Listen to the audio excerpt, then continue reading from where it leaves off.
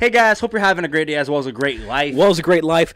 We're here with Tommy James and the Sean. It sounds like a made up band. yeah, I know. I mean, I guess they're all technically made up. I was thinking the same thing. This is a poll that we made up in like the Discord from Yeah. the Patreon actually. Like there, there's like a channel in the Discord called like poll suggestions. Yeah. And literally like I built this one with some people there over a course of like time. This is like weeks ago. I've, I've had this poll just like sitting ready to go. It was time to execute. Yeah, if you were And- not on the Discord, you should be on the Discord. Yep. And I was extremely excited to see this song in particular win the poll because it had the coolest name. It does have the cool name, Crystal Blue Persuasion. It's a really cool album cover too. It's just so sick. You see? Yeah. Yeah, it's really cool. Yeah, I like it. But so was very very intrigued and just very excited to hit this group. I never heard of this group really until recently, and so I'm just excited to see what they got. All right. Well, with that being said, let's get right into it. Okay. Good start. Oh wow.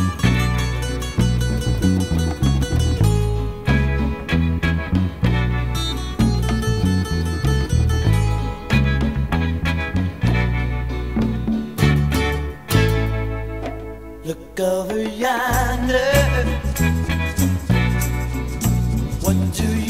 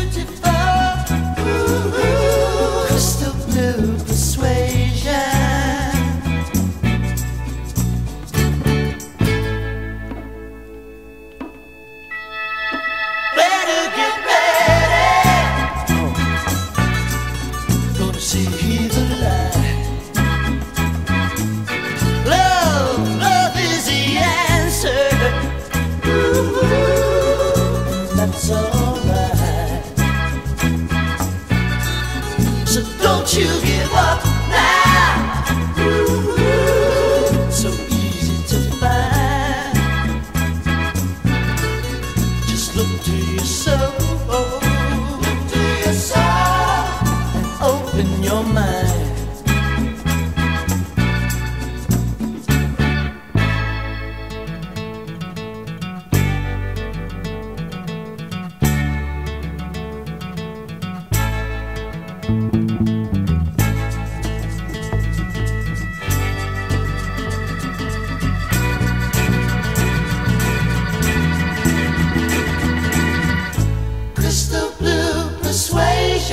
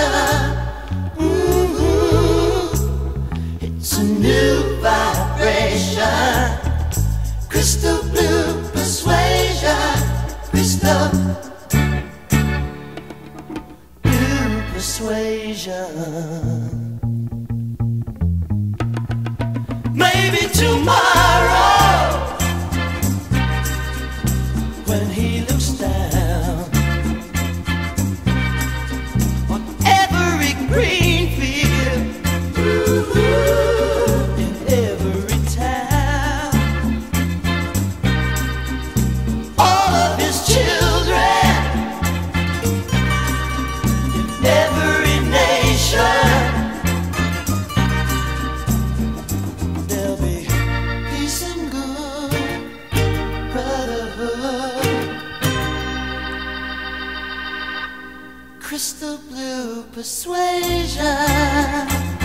Yeah.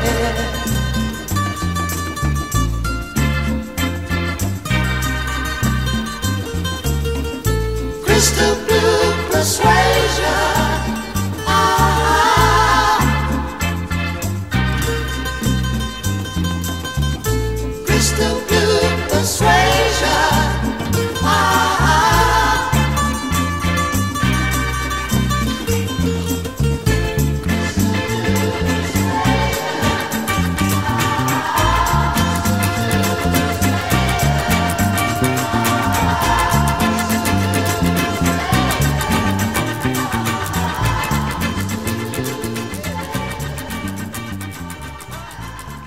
A great ending. It's really cool. ending. Okay. Okay. I f- oh, I almost went straight into talking about it. Okay, rating three, two, one. B plus. Okay. Solid. I feel like I liked that more than my rating would entail. It felt almost like there was like R and B influences. There was so many, so many little aspects of that song that I just appreciate so heavy. I love the, that. Mm-hmm. the chords that they used. I thought uh, the atmosphere they brought in and the way it, like all of a sudden like enveloped you was incredibly unique. Very Yeah. very cool. As far as that R and B sort of influence, really it was mostly from the chords and it was a lot to do with a lot of the effects on the guitar Mm-hmm. it almost felt like they were purposely trying to stay away from keys and try to fit, think as um, as many unique ways to utilize like stringed instruments as possible Yeah. to just create that sort of mood Yeah, it was definitely put together extremely well. And I, I gave it the A just because of how well it was built, structured. Like I felt like there's a lot of thought behind it. I felt like they accomplished exactly what they wanted to accomplish. Yeah. Now I couldn't go higher than A just from literally personal preference.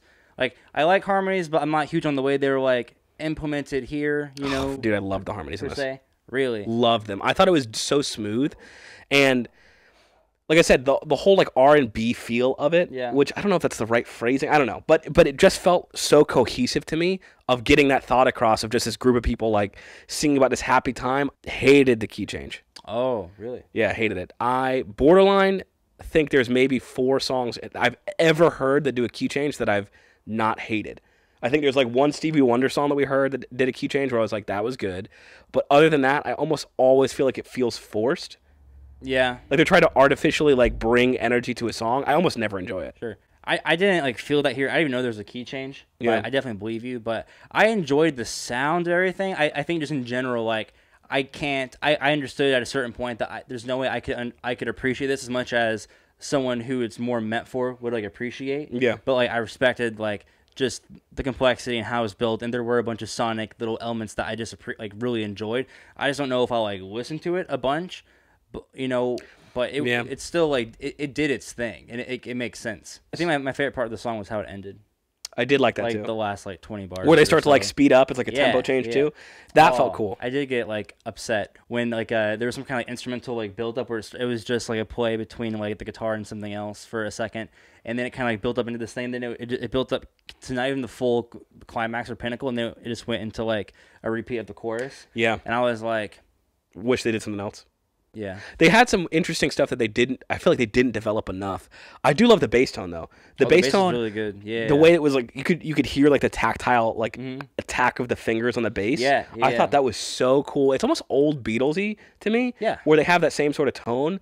And like Paul McCartney's bass playing is like iconic, obviously. Mm-hmm. But I think the use of tone in this song was what I appreciated the most. The song itself was okay, but I really think I just loved the way they produced all the sounds. It was. Yeah. super cool. definitely excited to see what else they have. Like, I wonder if, if they sound like this through all their songs, or this is like just one of their flavors. Yeah, it feels like a great band for the era. I'd I would be surprised if they had like a bunch of different sounds through the decades, but I could be totally wrong. Yeah, what's that? What's that to see? But definitely down and check them out again. And with that being said, let us know what we need to hit next, and uh, we'll catch you next video. Peace. And if you want to keep hanging out with us here on the YouTube, here's a video that the YouTube algorithm has picked out specifically for you. Go ahead and watch that reaction that you haven't seen yet. And if you want exclusive content you can't get anywhere else, not here on YouTube, go ahead and click this link to Patreon. We have stuff there waiting for you. See you there. Peace.